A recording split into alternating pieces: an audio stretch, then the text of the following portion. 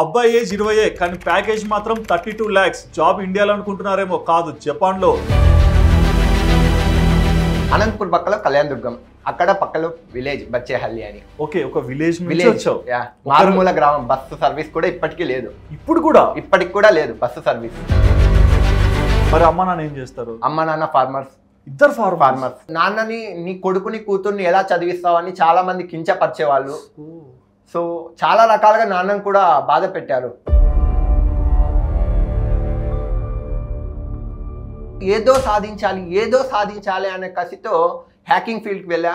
అక్కడ నుండి బగ్ బౌంటింగ్ ఫీల్డ్కి వెళ్ళా. ఆ బగ్ బౌంటింగ్లో జపాన్లోని సాఫ్ట్ బ్యాంక్ కంపెనీ సాఫ్ట్వేర్లో బగ్స్ ఫైండ్ చేశా. ఈ రోజు ఈ పొజిషన్లో ఉన్నా. మీరు అన్నారు బీటెక్ సిఎస్ అని మరి ఇప్పుడు బీటెక్ కంప్లీటా లేదు. ఇప్పుడు ప్రెజెంట్ సెకండ్ ఇయర్స్ అవుతున్నా సెకండ్ ఇయరా మా నాన్న. కెమెరాలోంచి దుంకొచ్చి కొడతాను నన్ను. ఏంట్రా నువ్వు? ఏం చేసినావు? ఇళ్ళల్లో అంటే వాళ్ళకి మీ మీలాంటి ఒక పర్సన్ ఇండియాలో ఉన్నాడని ఎలా తెలుసు? కాల్ చేశారు. వాళ్ళ హెచ్ఆర్ కాల్ చేసి మా కంపెనీలో జాయిన్ అవుతావు అన్నారు. డైరెక్ట్ డైరెక్ట్ నాకు క్వాలిఫికేషన్ లేదు ప్లస్ నాకు ఎడ్యుకేషన్ ఉందంటే వర్క్ ఫ్రమ్ హోమ్ చేసుకో. ప్రాజెక్ట్ అయ్యే అయ్యే వరకు అన్నారు. ప్రాజెక్ట్ ఏంటి అన్న? Six G technology six G అని ఎప్పుడు అన్నారో నేను జాయిన్ అవ్వాలనుకున్నా. ఓకే ఎందుకంటే ప్రపంచాన్ని మార్చే శక్తి ఓన్లీ సిక్స్ జీకే ఉంది. హ్యాకర్ అంటే మీరంతా ఇక్కడ ఉన్న ప్రపంచాన్నే చూస్తారు. బట్ హ్యాకర్ డార్క్ వెబ్ అని ఒక ప్రపంచానికి తెలియని ఒక ప్రపంచం ఉంటుంది. ఒక మనిషిని ఎలా చంపి కూరండాల నుండి గన్నును ఎలా స్మగ్లింగ్ చేయాల వరకు మొత్తం అక్కడ ఉంటుంది. సో అబ్బాయి ఫ్రెండ్ సేమ్ వైఫై కనెక్ట్ అయ్యారు వాళ్ళిద్దరు. ఓకే. సేమ్ వైఫై కనెక్ట్ అయినప్పుడు నా ఫ్రెండ్ అని చెప్పా కదా వాళ్ళ ఫ్రెండ్ ఏం చేశాడు ఈ మొబైల్ ఎప్పుడైతే ఆ వైఫై కనెక్ట్ అయిందో ఆ వైఫైలో ద్వారా వాళ్ళ మొబైల్ని అటాచ్ చేసి ఆ ఫొటోస్ తీసుకున్నాడు సో ఆ ఫొటోస్ తీసుకుని న్యూడ్గా మాఫ్ చేసి బ్లాక్ మెయిల్ చేయడం స్టార్ట్ చేశాడు మా ఫ్రెండ్ ఇప్పుడు శివుని ఆజ్ఞ లేనిదే చీమైన కుట్టదంటారు. అవును. నీ ఆజ్ఞ లేని నీ ఫోన్ హ్యాక్ అవ్వదు. ఏదో ఒక తప్పు నువ్వు చేస్తేనే నీ ఫోన్ హ్యాక్ అవుతుంది.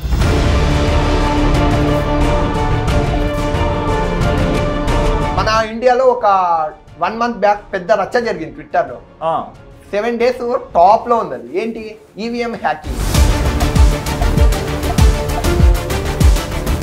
so EVM hack చేయొచ్చు అంటే డెఫినెట్లీ హ్యాక్ చేయొచ్చు. అది గవర్నమెంట్ అంత సెక్యూరిటీ ప్రోటోకాల్స్ ఉంటాయి కదా. ఇప్పుడు గవర్నమెంట్తో అంత సెక్యూర్ ప్రోటోకాల్స్ ఉన్నాయంటారే హండ్రెడ్ క్రోస్ మెంబర్స్ది ఆధార్ డేటా అనేది డార్క్ వెబ్లో ఉంది కదా. మళ్ళీ ఎక్కడ ఉంది సెక్యూరిటీ గవర్నమెంట్ దగ్గర? మేము అమెజాన్ కూడా హ్యాక్ చేసి చాలా అమెజాన్ చాలా ప్రోడక్ట్స్ బుక్ చేసుకోను. ఫ్రీగా ఫ్రీగా ఫ్రీగా బాప్రే. రీఫండ్స్ చేసినవి చాలా ఉన్నాయి. చూపిమంటే చూపిస్తాను. చూపేయండి. మరి ఇవి మీరు ఇట్లా చేశాక వాళ్ళకి చెప్తారు కదా వాళ్ళు నవ్వుతారా నమ్ముతారా? వాళ్ళు నవ్వుతారు. కదా. అమెజాన్ వాళ్ళు నవ్వుతారు. ఎందుకంటే ట్వంటీ ఇయర్స్ అబ్బాయి వచ్చి మా కంపెనీని ఏంది? ఎగ్జాక్ట్లీ చేసేది అంటే. ఇవి మన రీఫండ్ ఇవన్నీ రీఫండ్సా స్క్రోల్ చేయండి పైకి. ఇప్పుడు వాళ్ళకు మెయిల్ చేసా కాల్ చేసా తిట్టా బతిమలాడుకున్నా.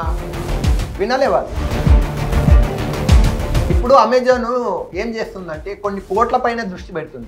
Three hundred four hundred product ఏమవుతుందో ఆలోచించారు యా.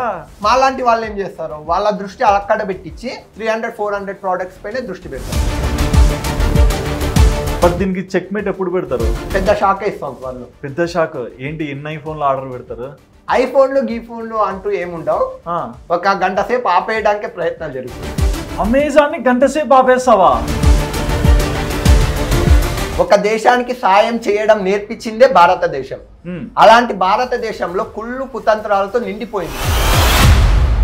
ఇప్పుడు ఎలా అంటే నాకు జాబ్ వచ్చిన తర్వాత నాకు పాస్పోర్ట్ రాకుండా ఉండడానికి వాళ్ళ చేతనైనంత ట్రై చేస్తున్నారు. ఏంటి జాబ్ వచ్చాక? వచ్చాక.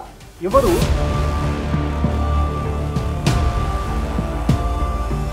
మరి అలాంటి టైంలో అమ్మా నాన్న ఇబ్బంది పడుతుంటారు? అమ్మ నాన్న చాలా ఇబ్బంది పడ్డారు. పొలం అమ్మేసి ఊరు వదిలేసి వెళ్దామన్నారు. పొలం అమ్మేసి? ఇప్పటికి కూడా ల్యాండ్ సీలింగ్ చేయడానికి డాడీ రెడీగా ఉన్నాడు. ఎందుకు? ఉమెన్స్ ఎవరైనా ప్రాబ్లమ్స్ ఫేస్ చేస్తుంటే. నా number nine three nine double zero seven three nine six zero. So నాకు ఏ టైంలో కాల్ చేసినా మీరు ఆన్లైన్ పరంగా ఏ ప్రాబ్లమ్స్ ఫేస్ చేసినా ఖచ్చితంగా మన సబ్స్క్రైబర్స్కు ఫ్రీగా హెల్ప్ చేస్తాం. నీ గట్ ఫీలింగ్ హ్యాట్స్ హాయ్ వ్యూవర్స్ వెల్కమ్ టు వాదాన్ నేను మీ హోస్ట్ సుధిరెడ్డి ఇవాళ నేను మీ ముందరికి ఒక ఇన్స్పైరింగ్ ఇంటర్వ్యూ తీసుకొచ్చా అండి బేసిక్గా లైఫ్లో మనం ఎక్కడ ఉన్నా సరే ఎప్పుడైనా ఒక మంచి పొజిషన్కి వెళ్ళాలని ఎప్పుడు డ్రీమ్ చేస్తుంటాం. అలాంటి డ్రీమ్ని సక్సెస్ చేసుకున్న వ్యక్తిని నేను మీ ముందర తీసుకొచ్చాను. అబ్బాయి ఏజ్ ఇరవయే కానీ ప్యాకేజ్ మాత్రం థర్టీ టూ ల్యాక్స్ జాబ్ ఇండియాలో అనుకుంటున్నారేమో కాదు జపాన్లో ఏంటి ఇరవై ఏళ్ళ అబ్బాయి? అలాగే జపాన్లో జాబ్ అంటున్నావు. ఎలా సింక్ అవుతుందని మీకు డౌట్స్ ఉండొచ్చు. బట్ ఎవరు తను ఎలాంటి లైఫ్ స్టైల్ నుంచి అంత కష్టపడి ఆ పొజిషన్కి వెళ్ళాడు? ప్రతి ఒక్కటి కూడా ఈ ఇంటర్వ్యూలో నేను మీకు క్లియర్గా ఎక్స్ప్లెయిన్ చేపిస్తాను. సో అతను ఎవరో కాదండి విజయ్ కుమార్ అనంతపురం నుంచి వచ్చాడు. మరేంటి అతని కథ అనేది ఇంటర్వ్యూ అడిగి తెలుసుకుందాం. హాయ్ బ్రో హాయ్ బ్రో ఎలా ఉన్నారు? బాగున్నా మీరు ఎలా ఉన్నారు? ఐఎమ్ సో హ్యాపీ ఏంటి ఆ వొకాబులరీ అంటే క్లాసెస్ చెప్పి అట్లా అయిపోయిందా? ఆ క్లాసెస్ చెప్పి అలా అయింది. అదే యాక్షన్ కూడా డిఫరెంట్ ఉంది. ఏదో పది మంది స్టూడెంట్స్ ఉంటే క్లాస్ చెప్తున్నట్లు అనిపించింది. క్లాసెస్ చెప్పి అలవాటు అయింది. Okay so G Vijay Kumar. Anantapur కానీ ఈ రోజు ఊరికి పేరు తెచ్చావు. అంతకన్నా ముందు అమ్మ నాన్నని సంతోషంగా కూర్చోబెట్టావు ఇంట్లో. హ్యాపీ ఫర్ యువర్ సక్సెస్ ఇంకా. చాలా ఉన్నాయి మైల్ స్టోన్స్ నువ్వు చూసేటివి. సో చాలా ఉంది. అనంతపూరేనా నేటివ్ ప్లేస్ అనంతపూర్ పక్కలో కళ్యాణ్ దుర్గం అక్కడ పక్కలో విలేజ్ బచ్చేహల్లి అని. ఓకే ఒక విలేజ్ విలేజ్ మారుమూల గ్రామం బస్సు సర్వీస్ కూడా ఇప్పటికీ లేదు. ఇప్పుడు కూడా? ఇప్పటికి కూడా లేదు బస్సు సర్వీస్. ఈ రోజు కూడా? ఈ రోజుకి కూడా లేదు. మరి నీ విద్య అంతా ఎట్లా జరిగింది? అంటే హాస్టల్. హాస్టల్. ఓకే మరి అమ్మ నాన్న ఏం చేస్తారు? అమ్మ నాన్న ఫార్మర్స్. ఇద్దరు ఫార్మర్స్? ఫార్మర్స్. ఓకే అంటే అంటే బాగా భూమి ఉందా లేకుంటే బాగా ఏమీ లేదు. పది ఎకరాల భూమి ఉంది. ఫోర్ ఇయర్స్ బ్యాక్ మ్యాంగో పెట్టాం. ఇప్పుడు ఆ మ్యాంగో చూసుకుంటూ ఉన్నాం. ఓకే. సో అట్లా అమ్మ నాన్న లైఫ్ స్టైల్ ఉంది. అండ్ ఒక్కడినే అబ్బాయివా? ఆ నేను ఒక్కనే అబ్బాయిని ఇద్దరు అక్క వాళ్ళు ఉన్నారు. ఇద్దరు అక్కలు ఉన్నారు? ఇద్దరు అక్క వాళ్ళు ఉన్నారు. ఓకే. అక్క వాళ్ళు ఏం చదువుతున్నారు? ఆ ఒక అక్క డిగ్రీ కంప్లీట్ అయింది ఇంకొక అక్క ఎంసీఏ చదువుతుంది బెంగళూరులో. అక్క. కూడా ఇప్పుడు ప్లేస్మెంట్ సెలెక్ట్ అయింది. ఓకే. మరి అక్క ఏ కంట్రీ అక్క ఇక్కడే Bengaluru. Seventh seventh sense solution company అని ఓకే. టీచింగ్ కంపెనీ అది కూడా. టీచింగ్. నువ్వు కూడా టీచింగ్ చేస్తా అని స్టార్టింగ్లోనే చెప్పావు. అంటే నేను టీచింగ్ అంటే అది నా పార్ట్ టైం అనమాట కేవలం. నా పార్ట్ టైం అంటే అమ్మ నాన్న మీద ఆధారపడకుండా వాళ్ళ కష్టాల నుండి నా నా కష్టం ఎందుకు? వాళ్ళకే చాలా కష్టాలు ఉన్నాయని చెప్పేసి నేను టీచింగ్ చేసేవాడిని. ఓకే. సో ఫస్ట్ థింగ్ అంటే నువ్వు ఒక విత్తనం. ఆ. విత్తనం ఈ రోజు చెట్టు అయింది. ఎలా అయింది అనేది మాకు తెలియాలి. సో అంటే అమ్మ నాన్న కష్టాల్ని చూస్తూ పెరుగుతుంటావు కదా. మరి ఎలాంటి లైఫ్ స్టైల్ ఉండేది ఇంట్లో? ఇంట్లో అంటే ఇప్పటి వరకు నాకు జాబ్ రానంత వరకు బాధలతోనే కూడింది. ఎందుకంటే మనీ ప్రాబ్లమ్స్. చాలా ఇప్పుడు నా నా హాస్టల్ ఫీజు కట్టాలి అక్క కాలేజ్ ఫీజు కట్టాలి. సో చాలా ప్రాబ్లమ్స్ ఫేస్ చేశాడు డాడీ. Ah. చాలా సార్లు మా వల్ల బాధపడ్డాడు. సో నాన్న బాధకి ఏదో ఒక సమాధానం ఇవ్వాలి. నాన్నని ఎంత ఎత్తులో కూర్చోబెట్టాలంటే అంత ఎత్తులో కూర్చోబెట్టాలి అనేసి నాలో ఒక తపన పెరిగింది. ఆ తపననే ఈరోజు ఈ. విజయం. అంటే ఫార్మర్స్ అంటే మన ఇండియాలో అందరికి తెలిసిందే చాలా ఇబ్బంది పడే వ్యక్తులు. ఎక్కువ గౌరవం ఇస్తారు. ఇబ్బంది కూడా పెడతారని కనిపిస్తది. మరి మీ ఇంట్లో పరిస్థితి ఎలా ఉంది అంటే కొంతమంది ఇళ్ళలో తిండికి కూడా ఇబ్బంది వచ్చే స్టేజ్లు కూడా ఉంటాయి. అంటే ఒక ఫోర్ ఇయర్స్ బ్యాక్ వరకు మా ఇంట్లో తిండికి ఇబ్బందిగానే ఉండేది. ఓకే. బట్ ఇప్పుడైతే ఆ పరిస్థితి లేదు. అంటే ఏంటి అప్పుడు? ఎలాంటి సిచ్యువేషన్స్ మీరు చూసారు అంటే అప్పుడు ఓన్లీ మాతో పొలంలో పంట మాత్రమే పండించేవాళ్ళం. సో పెట్టిన పంట వస్తుందో లేదో తెలియదు. సో రైతుల పరిస్థితి ఎలా అంటే ఈరోజు పంట పెట్టామంటే నైట్ ఉంటుందో లేదో తెలియదు. సో మా పొలంలో ఎలా అంటే అక్క అది ఫారెస్ట్ ఏరియా అనమాట అక్కడ క్రూర మృగాలు అవి ఇవి తిరుగుతూ ఉంటాయి. సో వాటర్ పైప్స్ పగలగొట్టడాలు ఇలా చే జరుగుతుంది. సో అలా అని పెట్టిన పంట ఒక్కసారి పగలగొడితే త్రీ ఫోర్ డేస్ అవుతుంది వాటిని రిపేర్ చేయడానికి. సో పెట్టిన పంట ఉంటుందో పోతుందో అనే భయంతో అలా అలా ఇబ్బంది. ఇబ్బంది. అంటే ఇంట్లో మూడు పూట్ల తినడానికి ఓకేనా? చెప్పా కదా ఫైవ్ ఇయర్స్ వరకు కొద్దిగా ఇబ్బంది. లైక్ ఎలాంటి సిచ్యువేషన్స్ మాకు అంటే. తినడానికి కూడా చాలా కష్టంగా ఉండేది. తినడానికి. తినడానికి కూడా చాలా కష్టంగా ఉండేది. బట్ ఫైవ్ ఇయర్స్ తర్వాత ఫైవ్ ఇయర్స్ నుండి ఇప్పటి వరకు అలా అయితే లేదు.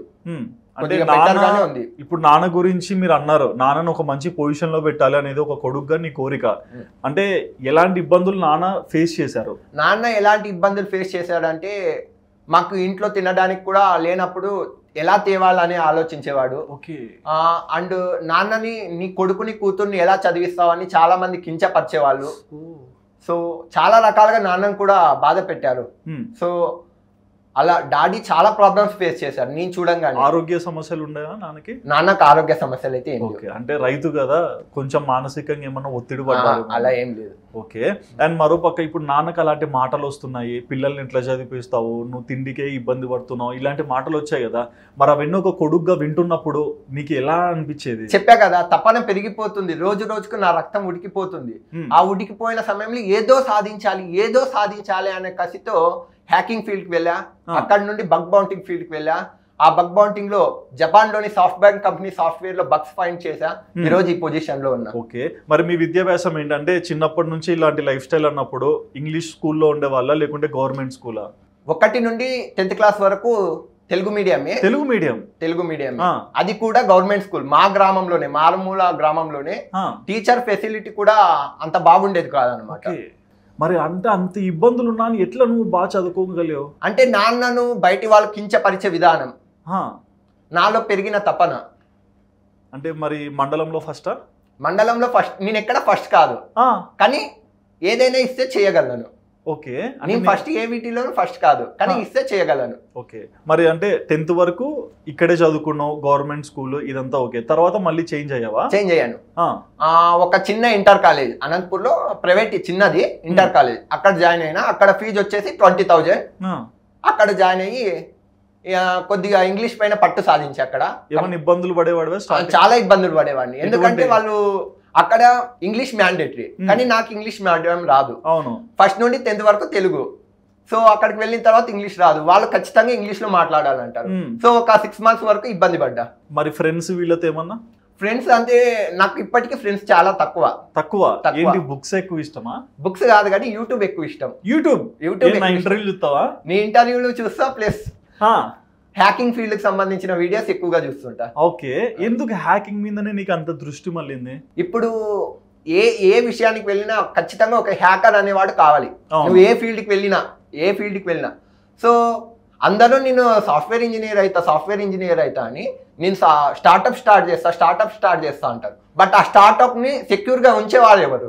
ఓకే. అందరూ సాఫ్ట్వేర్లు అయ్యి స్టార్ట్అప్ స్టార్ట్ చేస్తే సెక్యూర్గా పెట్టే వాళ్ళు ఎవరు? సో ఇలా అనేసి నేను హ్యాకింగ్ వైపు వెళ్ళా ఓకే. మరి అంటే బీటెక్ సో ఏ గ్రూప్ మీరు? సిఎస్సి సిఎస్ఏ అంటే ఇంటర్ తర్వాత బీటెక్ వెళ్ళినప్పుడు కూడా అంటే కాలేజ్ ఫీజు ఇవన్నీ కూడా ఉంటాయి కదా అప్పుడు కూడా ఇబ్బంది ఉండేదా అప్పుడు ఇప్పుడు అప్పుడు కూడా ఇబ్బంది ఉండేది. బట్ మా కాలేజ్ మేనేజ్మెంట్ వాళ్ళు అర్థం చేసుకునే వాళ్ళు టైం. ఇచ్చేవాళ్ళు. ఓకే. ఫీజు కట్టడానికి టైం ఎక్స్టెండ్ చేసేవాళ్ళు. ఎక్స్టెండ్ చేసేవాళ్ళు. డిస్కౌంట్ ఏముండదు డిస్కౌంట్ ఏమీ లేదు. అంటే వాళ్ళ వాళ్ళు ఇచ్చినదే ఫార్టీ టూ థౌజండ్ నాకు Hmm. College fees okay. తక్కువ ఇచ్చారు. తక్కువ ఇచ్చారు. ఏ కాలేజ్ మీరు? Srisa institution of technology Rayachoti. Okay. అంటే నేను దీనిలో ఒక కొత్త విషయం ఏం గమనించా అంటే ఎక్కడో ఫారెన్లో అంటే హై ఎండ్ టెక్నాలజీస్ వాడతారు కాబట్టి యంగ్ ఏజ్లోనే ఇలాంటి వాళ్ళు పుడుతుంటారు. అంటే ఇంత నాలెడ్జ్తో బట్ మన ఇండియాలో అది కూడా మీరు అన్నట్లు ఒక మారుమూలను ఒక పల్లెటూరులో పుట్టినా సరే మట్టిలో మాణిక్యం లాగా ఎక్కడ కూడా తండ్రికి అవమానం జరగకూడదు. నువ్వు మంచి స్టేజ్లోకి రావాలని నీ స్వయం కృషి ఇంతవరకు తెచ్చింది. బట్ ట్వంటీ ఇయర్స్ ఆఫ్ ఏజ్లోనే ఆ బ్రెయిన్లో అంత ఫీడింగ్ ఎలా చేయగలిగావు? మీరు అన్నారు ఫారెన్ కంట్రీ వాళ్ళకే ఎక్కువ నాలెడ్జ్ ఉంటుందని. అది నథింగ్ అండి. ఇప్పుడు ఏ గూగుల్ కానీ మైక్రోసాఫ్ట్ కానీ ఎక్కడన్నా వెళ్ళండి. మన ఇండియా వాళ్ళే టాప్ పోస్ట్ పొజిషన్లో వాళ్ళే ఉంటారు. యా. మన ఇండియా వాళ్ళకే టాలెంట్ ఎక్కువ. ఎందుకు అంటే మన ఇండియా వాళ్ళు ఒక విషయాన్ని డిఫరెంట్ వేలో చూస్తారనమాట బట్ ఫారెన్ కంట్రీ వాళ్ళు ఒకే వేలోనే వెళ్తారు. బట్ మన ఇండియా వాళ్ళు డిఫరెంట్ వేలో చూడడం వల్ల తొందరగా సక్సెస్ అవుతారు. బట్ ఇప్పుడు ఉన్న ప్రజెంట్ జనరేషన్ ఎందుకు తగ్గిపోతుంది ఆ టాలెంట్ లేకుండా అంటే ఎక్కువ ఇన్స్టా చూడడం అమ్మాయిల వెంట తిరగడం కాలేజ్ బంక్ కొట్టడం Hmm. ఇవే కారణం. నేను నా కల్లారా చూడడం అయితే ఇవే కారణం. మన ఇప్పుడు నా ఫ్రెండ్స్ ఉన్నారు. నా ఫ్రెండ్స్ వాళ్ళకు కూడా చాలా టాలెంట్ ఉంది. వాళ్ళకి చెప్పినా వినరు. ఇట్లాంటివన్నిటికి అలవాటు అలవాటు. పడిపోయారు. కానీ అంటే బేసిక్గా నువ్వు కూడా అంటే మనం ఎక్కడ ఉంటే మన చుట్టూ ఉన్న వాళ్ళు కూడా అలానే ఉంటారు కదా. మరి అలాంటి వాళ్ళ మధ్యన నేను చెప్పా కదండి నాకు ఫ్రెండ్స్ తక్కువ అని. ఫ్రెండ్స్ తక్కువ ఉన్నాను సరే ఆ ఏజ్లో ఒక మనస్తత్వం ఉంటది. నేను కూడా తిరగాలి నేను కూడా ఎంజాయ్ చేయాలని. నాకు తిరగాలి ఎంజాయ్ చేయాలన్న ఆలోచన లేదు. ఇప్పుడు కూడా నేను ఎక్కడైనా వెళ్ళాలంటే సింగిల్ గానే వెళ్ళి వస్తా. లేదంటే మా ఫ్యామిలీతో వెళ్తా. బట్ ఫ్రెండ్స్తో మాత్రం వెళ్ళను. ఏంటి ఇంత ఇంత పెద్ద స్టేట్మెంట్? అంటే చూసా అనమాట ఫ్రెండ్స్ వాళ్ళ చెడిపోయిన వాళ్ళని చూసా. ఫ్రెండ్స్ అమ్మ నాన్న వాళ్ళ బాగా వాళ్ళ మాటలు విని బాగుపడిన వాళ్ళని చూసా. సో రెండింటిని కంపేర్ చేసుకుంటే అమ్మ నాన్న వాళ్ళు మన బాగు కోసం చెప్తారని నాన్న ఏ వేలో వెళ్ళు అంటే ఆ వేలో వెళ్ళి ఈ రోజు ఈ పొజిషన్కి వచ్చా గ్రేట్ అండ్ మరో పక్క చూసుకోవచ్చు బీటెక్ జాయిన్ అయ్యారు కదా. అంటే మీకు ఈ సైబర్ సెక్యూరిటీ హ్యాకింగ్ వల్ల ఇష్టం ఉండి సిఎస్సిలోకి వెళ్ళారా? అంటే యాక్చువల్గా నేను సైబర్ సెక్యూరిటీ గ్రూ గ్రూప్ కోర్స్ తీసుకోవడానికి చాలా ట్రై చేశాను అనమాట బట్ మిస్ అయింది. జస్ట్ మిస్లో వెళ్ళి సిఎస్సి దొరికింది నాకు. ఓకే లేకుంటే ఇంకా డిఫరెంట్ ఉండేదేమో. డిఫరెంట్ ఉండేది. ఓకే అండ్ ఇప్పుడు సిఎస్సిలో చేరారు. మరి మీరు అన్నారు నేను పార్ట్ టైం చేసేవాడిని కొంచెం డబ్బుల కోసం అని. సో ఏంటి ఆ పార్ట్ టైమ్స్ అంటే గవర్నమెంట్ వాళ్ళు మనకు వాలంటీర్గా వర్క్ చేయడానికి ఒక ఆప్షన్ ఇచ్చారు. సైబర్లో. సో నేను ఆ సైబర్లో అవేర్నెస్ క్లాసెస్ వెళ్తా. సో మీరు ఏ ప్రాబ్లం మనీ లాస్ అవుతే ఎలా వెళ్ళాలి? మనీ లాస్ అవ్వకుండా ఉండడానికి ఎలా? ఫిషింగ్ అటాక్ అంటే ఏంటి?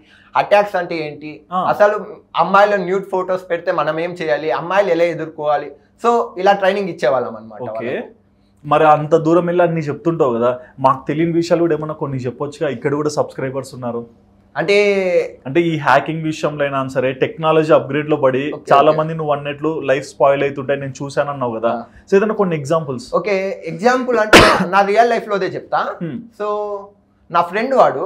ఆ అమ్మాయి కూడా నా ఫ్రెండే వాళ్ళ పేర్లు వద్దు సిచ్యువేషన్ వద్దు వాళ్ళు వచ్చేసి తిరుపతిలో ఉంటారు. సో అబ్బాయి ఫ్రెండ్ ఉంటారు కదా ఈ అబ్బాయి అమ్మాయి బయటికి వెళ్ళేసి వచ్చారు. బయటికి వెళ్ళేసి వస్తే ఫొటోస్ దిగేసి వచ్చారు. సో అబ్బాయి ఫ్రెండ్ సేమ్ వైఫై కనెక్ట్ అయ్యారు వాళ్ళిద్దరు. ఓకే. సేమ్ వైఫై కనెక్ట్ అయినప్పుడు నా ఫ్రెండ్ అని చెప్పా కదా వాళ్ళ ఫ్రెండ్ ఏం చేశాడు ఈ మొబైల్ ఎప్పుడైతే ఆ వైఫై కనెక్ట్ అయిందో ఆ వైఫైలో ద్వారా వాళ్ళ మొబైల్ని అటాక్ చేసి ఆ ఫొటోస్ తీసుకున్నాడు. సో ఆ ఫొటోస్ తీసుకుని న్యూడ్గా మాఫ్ చేసి అబ్బాయిని బ్లాక్ మెయిల్ బ్లాక్ మెయిల్ చేయడం స్టార్ట్ చేశాడు మా ఫ్రెండ్ని ఓకే. సో హ్యాజ్ హ్యాకర్గా మా వంతు మేము చేసి వాటిని డిలీట్ చేయడానికి ప్రయత్నం చేశాం. అంటే మీరు ఎట్లా వెళ్తారు ఆ రూట్స్ రూట్ సోర్స్లోకి రూట్ సోర్స్లోకి అంటే ఇప్పుడు ఎలా వెళ్తామంటే ఫస్ట్ చూస్తాం నీకు నాలెడ్జ్ ఏమైనా ఉందా హ్యాకింగ్ పైన? సో నీకు నాలెడ్జ్ లేదా? సింపుల్గా ఫిషింగ్ అటాక్ చేస్తాం. ఫిషింగ్ అటాక్ అంటే ఏం లేదు. ఒక లింక్ సెండ్ చేస్తాం మీకు. ఆ లింక్ సెండ్ చేసినప్పుడు నువ్వు దాన్ని క్లిక్ చేస్తావు. బట్ మేము ఏదో యూట్యూబ్ వీడియోనో లేకపోతే ఏదో ఒకటి దాంట్లో నీకు పెట్టాం. బట్ నీకు తెలియకుండా దాంట్లో ఏదో ఒక వైరస్ ఇన్స్టాల్ చేసింటాం. సో క్లిక్ చేసిన వెంటనే ఆ వైరస్ ద్వారా మీ డీటెయిల్స్ అన్ని మాకు వచ్చేస్తాయి. ఓకే. అంటే నేను ర్యాండమ్గా వింటున్నా జనరల్ క్వశ్చన్. చాలా మంది రోజుల్లో అంటారు నైట్ డేటా ఆఫ్ చేసుకోవాలి నెట్ ఆన్లో ఉంటే రాత్రి పడుకున్నప్పుడు ఫోన్ హ్యాక్ అవుతుంది అని ఇట్లాంటివి? ఇప్పుడు శివుని ఆజ్ఞ లేనిదే చీమైన కుట్టదంటారు. నీ ఆజ్ఞ లేని నీ ఫోన్ హ్యాక్ అవ్వదు. ఏదో ఒక తప్పు నువ్వు చేస్తేనే నీ ఫోన్ హ్యాక్ అవుతుంది. ఓకే. నీ ఫోన్ నీ ఆజ్ఞ లేనిది ఎవ్వరు నీ ఫోన్ హ్యాక్ చేయలేరు. Hmm. అది నువ్వు లింక్ క్లిక్ చేయడమో లేకపోతే ఫోటో డౌన్లోడ్ చేయడము వీడియో డౌన్లోడ్ చేయడము ఏదో ఒక మార్గంలో హ్యాకర్స్ సెండ్ చేస్తుంటారు. బట్ నువ్వు క్లిక్ చేసిన వెంటనే హ్యాక్ అవుతుంది. వెంటనే ఎంత సెకండ్స్లో అయిపోతుంది? సెకండ్స్ అనేది ఏమీ లేదు. ఇలా క్లిక్ చేస్తే అలా వస్తుంది. అంతే. అంతే. అంటే ఇప్పుడు ఇక్కడ కూర్చొని ఫోన్ పట్టుకుంటే మొత్తం మీకు తెలుసు. ఆ, తెలుస్తుంది. అంటే నువ్వు క్లిక్ చేయాలి. నువ్వు క్లిక్ చేస్తే నీ మొబైల్ నీ డేటా అంతా నాకు వచ్చేస్తుంది. ఇప్పుడు నేను క్లిక్ చేశాను అనుకోండి మొత్తం నా చార్ట్స్ ఫోన్ కాల్స్. అన్ని వస్తాయి. అన్ని? ఎప్పుడన్నా మీ ఫ్రెండ్స్ మీ టాలెంట్ తెలిసి ఒకసారి ఎక్స్పెరిమెంట్ చేయమన్నారా? అంటే మా ఫ్రెండ్స్ ఎలాంటి వాటికి చెప్తారంటే ఆ అమ్మాయి ఇన్స్టా అకౌంట్ హ్యాక్ చేయి. అబ్బా ఈ మారరిల్లు సో అలా ఉంటారు అనమాట సో మనం ఆ తప్పు చేయం ఎందుకంటే యాజ్ ఏ ఇండియన్ సిటిజన్గా నేను వాళ్ళ బాగు కోసం ఉమెన్స్ ప్రొటెక్షన్ కోసం వర్క్ చేస్తా ఇంతకు ముందు ఇప్పుడు కూడా వాళ్ళ కోసమే వర్క్ చేస్తా ఓకే. ఎవరైనా అమ్మాయిలు సార్ నాకు ఈ ప్రాబ్లం ఉంది అంటే ఓకే నా వల్ల అవుతుందా లేదా చూస్తా. లేకపోతే హైదరాబాద్లోనే ఈ మధ్య ఒక ఫౌండేషన్ స్టార్ట్ చేశారు షీ సైబర్ హబ్ అని. ఓకే. సో వాళ్ళకు వాళ్ళ దగ్గరకు వెళ్ళని హెల్ప్ చేస్తారని కూడా చెప్తుంటా. అంటే మనం మనకు అంటే మన సొసైటీలో ఏంటి గుడ్డు బ్యాట్ రెండు ఉంటాయి కదా. మరి మీకు సపోర్ట్ చేసే వాళ్ళు ఉంటారు నెగిటివ్గా వాళ్ళు ఉంటారు. ఇలాంటి వాళ్ళు ఏం చేసేవాళ్ళు మిమ్మల్ని? అంటే? నన్ను ఏం చేసేవాళ్ళంటే సో నేను పార్ట్ టైం జాబ్ చేసేవాడిని అని చెప్పా కదా. అవును. ఒక కాలేజీకి వెళ్ళా. అక్కడ ఒక అమ్మాయి వేరే అబ్బాయితో తిరుగుతుంది. ఆ, సో అమ్మాయి తెలిసిన అమ్మాయి. అమ్మాయికి చెప్పా అలా కాదమ్మా చెల్లి ఇలా అమ్మా అలా తిరగకూడదు.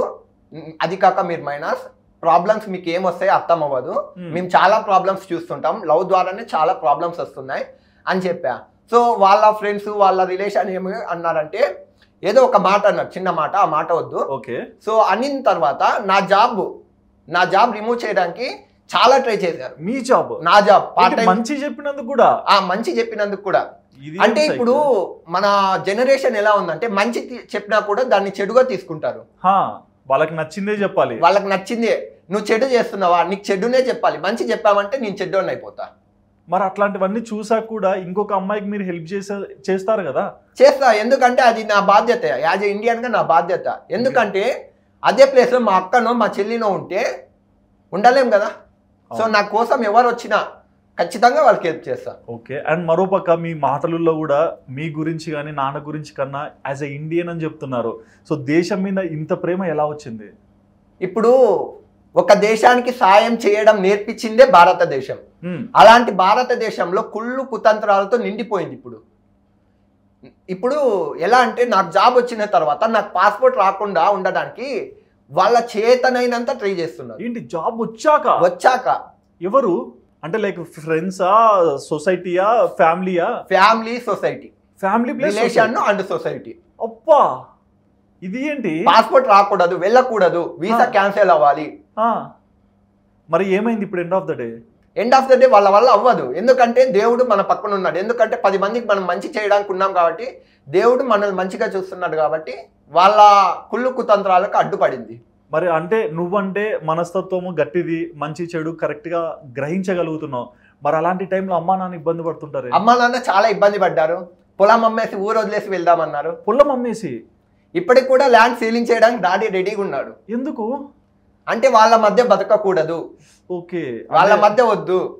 అంటే మీరు ఇలాగే బ్రతకాలి ఇంకా జీవితాంతం. వాళ్ళ కోరిక? వాళ్ళ కోరిక. అందుకే వాళ్ళ మధ్య వద్దు వెళ్ళిపోదాము. ఇంకా ఎటువంటి ఇబ్బందులు ఫేస్ చేశారా? చాలా ఫేస్ చేశారు. అంటే ఫోర్ ఫైవ్ డేస్ భోజనం చేయకుండా ఉన్నారు నాన్న వాళ్ళు నా వల్ల. ఐదు రోజులు? Four five days. నా వల్ల భోజనం చేయకుండా ఉన్నారు. అంటే ఏమవుతుందో ఏమవుతుందో? వాళ్ళు వాళ్ళు నన్ను ఇబ్బంది పెట్టే విధానం చూసి. మరి ఎలా అంటే ఒక కొడుకు ఇంత స్ట్రాంగ్ హార్ట్ ఎలా వచ్చింది? ట్వంటీ ఏజ్ మీది. అంటే చిన్నప్పటి నుండి కష్టాలు చూసి పెరిగా కదా. సో నా గుండె కొద్దిగా స్ట్రాంగ్ గానే ఉంది అనమాట బట్ ఇంకొకటి కూడా చెప్పగలుగుతారు నేను. అందరు అంటారు కదా age is not a age is just a number అని. అది మీరే. అంతే. ఎందుకంటే నేను కాకుండా చాలా మంది ఉన్నారు. నేను చూడంగా జపాన్లో నాకన్నా హైయర్ వెళ్ళొచ్చావు జపాన్కి ఆ, వెళ్ళేసి వచ్చా నైన్టీన్ ఇయర్స్ ఆ, అమ్మాయి ఎక్సలెంట్ ఆ అమ్మాయి టాలెంట్కు నేను హ్యాట్సప్ చేస్తాను నైన్టీన్ ఇయర్స్ నైన్టీన్ ఇయర్స్ ఏంటి? అంటే నిన్నే ఇంప్రెస్ చేసింది ఇంత స్ట్రాంగ్ మైండ్ అంటే? అంటే ఆ అమ్మాయి థింక్ చేసే విధానం నేను ఒకవేళ థింక్ చేస్తే ఓకే. బట్ ఆ అమ్మాయి నేను ఒకవేళ థింక్ చేసే విధానం విధానంలో అమ్మాయి టెన్ టెన్ వేస్ వెతికింటుంది. ఓకే ఒక ప్రాబ్లమ్కి సొల్యూషన్ టెన్ టెన్ వేస్లో వెతికింటుంది బట్ నేను వన్ వేలో వెళ్ళే లోపల అమ్మాయి టెన్ వేస్లో వెళ్ళిపోతుంది. ఓకే అంటే అక్కడ సిస్టమ్ అలా ఉందంటారా? అక్కడ discipline first of all discipline చాలా బాగుంది. ఉమ్, ఆ డిసిప్లిన్ వల్లనే ఈ రోజు అక్కడ జపాన్ అంటేనే ప్రపంచ దేశాలు ఆదర్శంగా తీసుకుంటున్నారు అవును. టెక్నాలజీ విషయంలో. ఒక న్యూక్లియర్ బాంబ్ పడ్డా కూడా పడ్డా కూడా కోలుకున్నారు వాళ్ళు. ఎగ్జాక్ట్లీ కానీ ఏం పడకుండా సరే మనం ఇంకా ఇబ్బంది పడుతున్నాం. చెప్పా కదా కుళ్ళు కుతంత్రాలు. మనం బాగుపడుతుంటే మా అబ్బాయిని ఆ స్టేజ్కి తీసుకువెళ్ళాలనేది లేదు. ఆ అబ్బాయిని ఎలా అయినా ఆపాలి అనే వాళ్ళే ఓకే అండ్ మీరు అన్నారు బీటెక్ సిఎస్ అని మరి ఇప్పుడు బీటెక్ కంప్లీటా లేదు. ఇప్పుడు ప్రెజెంట్ సెకండ్ ఇయర్స్ అవుతున్నా సెకండ్ ఇయరా మా నాన్న. కెమెరాలోంచి దుంకొచ్చి కొడతాను నన్ను. ఏంట్రా నువ్వు ఏం చేసినావు ఇళ్ళని లేదు సెకండ్ ఇయర్స్ అవుతున్నా సో వాళ్ళు నా క్వాలిఫికేషన్ బేస్ అయితే తీసుకోలేదు నా. టాలెంట్ బేస్ తీసుకున్నారు. అంటే వాళ్ళకి మీ మీలాంటి ఒక పర్సన్ ఇండియాలో ఉన్నాడని ఎలా తెలుసు? నాలాంటి పర్సన్ ఇండియాలో ఎలా ఉన్నాడని ఎలా తెలిసిందంటే నేనే వాళ్ళని అప్రోచ్ అయ్యా. ఎలా అప్రోచ్ అయ్యా అంటే నా మొబైల్ నా మొబైల్లో సాఫ్ట్వేర్ ఎరేజ్ అయింది. ఓకే. నాకు న్యూ సాఫ్ట్వేర్ కావాలి ఏదైనా. సో ఐఐటిలో మనకు తెలిసిన అబ్బాయి ఉన్నాడు. అబ్బాయికి వెళ్తే అబ్బాయి దగ్గర సాఫ్ట్ బ్యాంక్ వాళ్ళ సాఫ్ట్వేర్ ఉంది. నాకు పంపించాడు. పంపించినప్పుడు యాజ్ ఏ యాక్టర్గా నేనేమనుకున్నా చెక్ చేద్దాం వాళ్ళ సాఫ్ట్వేర్ని అనుకున్నా. ఆ, ఫస్ట్ బగ్స్ ఫౌండ్ చేశా. చేసిన తర్వాత ఫోర్ దొరికాయి. ఫోర్ పోర్ట్స్ ఓపెన్లో ఉన్నాయి. ఒక పోర్ట్లో వెళ్ళా. ఆ పోర్ట్లో ఫోర్ ఉన్నాయి బగ్స్ చెప్పా. వాళ్ళకి చెప్తే లేదు మా సాఫ్ట్వేర్లో అలాంటి బగ్స్ లేవు. మేము ఆల- చాలాసార్లు చూసా అన్న. బట్ వాళ్ళు ఎస్క్యూఎల్ మ్యాప్ ద్వారా వెళ్తున్నారు. నేను ఎన్ మ్యాప్ ద్వారా వెళ్తున్నా. సో నేను వెళ్ళినప్పుడు ఫోర్ బక్స్ దొరుకుతున్నాయి. వాళ్ళకి పదే పదే రిపీట్ చేస్తున్నా. స్క్రీన్ షాట్స్ పెడుతున్నా. ఫొటోస్ పంపిస్తున్నా. పీడిఎఫ్ పంపిస్తున్నా. వాళ్ళు పట్టించుకోలే. చివరికి నేనేమన్నా మీరు ఏదన్నా ఒక మొబైల్ తీసుకోండి సాఫ్ట్వేర్ ఉన్న మొబైల్ ఆ మొబైల్ డీటెయిల్స్ నాకు ఇవ్వండి అన్న. ఇచ్చారు. వాళ్ళ మొబైల్ యాక్సెస్ నాకు తీసుకున్నా. తీసుకున్న తర్వాత చూపించా. తర్వాత వాళ్ళు ఎవరైనా ఎక్కడి నుంచి వచ్చాడు అని? మన ఇండియా వాళ్ళంటే చాలా రెస్పెక్ట్ ఇస్తారు first of all yeah yeah బయట కంట్రీస్లో ఇండియన్స్ చాలా రెస్పెక్ట్ ఇస్తారు. అవును. మన ఇండియా టాలెంట్ అంటే వాళ్ళకు చాలా ఇష్టం. బట్ మన ఇండియా వాళ్ళు ఆ టాలెంట్ని మిస్యూజ్ చేయడానికి యూజ్ చేస్తున్నారు. యా. మనకంటే మంచి కన్నా చెడే తొందర ఎక్కుతుంది అదే. ఓకే. బట్ వాళ్ళు ఆ రోజు మీ గురించి అంటే మీరు సాఫ్ట్వేర్ అంతా చెక్ చేశాక షాక్ అయి ఉంటారు కదా. తర్వాత ఏం కాన్వర్సేషన్ వచ్చింది? కాల్ చేశారు. వాళ్ళ హెచ్ఆర్ కాల్ చేసి మా కంపెనీలో జాయిన్ అవుతావు అన్నారు. డైరెక్ట్ డైరెక్ట్ నాకు క్వాలిఫికేషన్ లేదు ప్లస్ నాకు ఎడ్యుకేషన్ ఉందంటే వర్క్ ఫ్రమ్ హోమ్ చేసుకో. ప్రాజెక్ట్ అయ్యే అయ్యే వరకు అన్నారు. ప్రాజెక్ట్ ఏంటి అన్న? Six G technology six G అని ఎప్పుడు అన్నారో నేను జాయిన్ అవ్వాలనుకున్నా. ఎందుకంటే? ప్రపంచాన్ని మార్చే శక్తి ఓన్లీ సిక్స్ జీకే ఉంది. ఓకే ఏంటి సిక్స్ జీకి ఉన్న పవర్ ఇప్పుడు ఫోర్ జీకి ఫైవ్ జీకి డిఫరెన్స్ చూసారు కదా ఏం డిఫరెన్స్ లేదు. బట్ స్పీడ్ నెట్ స్పీడ్ వస్తుంది. బట్ సిక్స్ జీలో అలా ఉండదు. విత్ ఇన్ సెకండ్స్ ఏ ప్రాబ్లం ఇంటర్నెట్కి సంబంధించిన ఏ ప్రాబ్లం అయినా సాల్వ్ చేయొచ్చు. విత్ ఇన్ సెకండ్స్లో ఏఐ ఉంది కదా మొత్తం ఏఐ మొత్తాన్ని సిక్స్ జీ ద్వారా నడిపేయచ్చు. బట్ మొన్న చూసారు రీసెంట్లీగా మైక్రోసాఫ్ట్ క్రాష్ అయిపోయింది సాఫ్ట్వేర్. ఒక అంటే సైబర్ కం సైబర్ వల్లనే. సెక్యూరిటీ సైబర్ సెక్యూరిటీ వల్లనే క్రాష్ అయిపోయింది. అవును. అది క్రాష్ అయినప్పుడు మొత్తం ప్రపంచం అంతా ఆగిపోయింది. అవును. ఇంకొక మార్గం లేదు. బట్ ఒక్కరే ఒక్కరు ఆ రోజు వర్క్ చేశారు. ఎవరు ఐఓఎస్ లైన్ ఎక్స్ వాళ్ళు. మ్యాక్. లైన్ ఎక్స్ మ్యాక్ వీళ్ళంతా వర్క్ చేశారు. ఎందుకు వర్క్ చేశారంటే డిఫరెన్స్ వేలు. అంటే అప్పుడున్న డేటాతో మెనీ కంపెనీస్ వాళ్ళ సాఫ్ట్వేర్ని ఇది చేయలేకపోయారు Hmm. ఇప్పుడు బిఎస్ఎన్ఎల్ ఉంది. చాలా మంది యూజ్ చేయడం లేదు. ఎందుకు యూజ్ చేయడం లేదు? నెట్వర్క్ నెట్వర్క్స్లో. సో అదే సిక్స్ జీ టెక్నాలజీ బిఎస్ఎన్ఎల్ ఇస్తే మీరంతా యూజ్ చేస్తారు కదా? పక్కా? గవర్నమెంట్ ప్రాఫిట్ కదా? సో అదే అనమాట సిక్స్ జీకి ఉన్న పవర్ ఓకే. అండ్ ఇట్లా చాలా విషయాలు నీకు తెలిసింటాయి కదా. కొన్ని ఏమైనా షేర్ చేయొచ్చు కదా. అంటే టెక్నాలజీ అయినా సరే ఏదైనా యాప్స్ గురించి అయినా సరే. అంటే యాప్ మీకు హ్యాకింగ్ గురించే చెప్తా. చెప్పండి.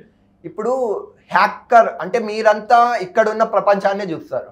బట్ హ్యాకర్ డార్క్ వెబ్ అని ఒక ప్రపంచానికి తెలియని ఒక ప్రపంచం ఉంటుంది.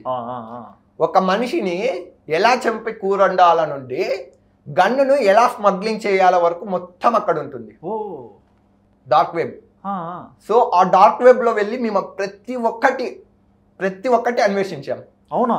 ఇప్పుడు నీ అమౌంట్ లాస్ అయ్యావు. బట్ నీ అమౌంట్ ఎక్కడికి వెళ్తుంది? ఎవరి అకౌంట్కి వెళ్ళదు. డార్క్ వెబ్లోని బ్లాక్ మార్కెట్కి వెళ్తుంది. అక్కడ నుండి వాళ్ళ అమౌంట్కి వెళ్తుంది. ఓకే వీళ్ళు మధ్యలో మీడియేటర్స్ మీడియేటర్స్ అంతే. ఓకే. ఆ డార్క్ వెబ్కి ఉన్న పవర్ ఏంటంటే అందులోకి వెళ్ళావా? వాడంత పవర్ఫుల్ ఎవరు ఉండరు.